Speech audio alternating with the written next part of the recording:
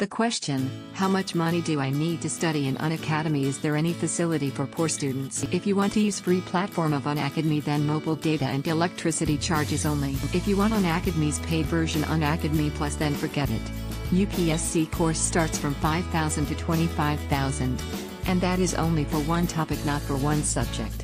I am for free but only in Hindi language. Ethics Answer Writing Q7, Hindi, Hindi, Ethics Answer Writing Daily for UPSC CSE, Unacademy. For more answers, or more advice on effective studying, check out the links in the description below.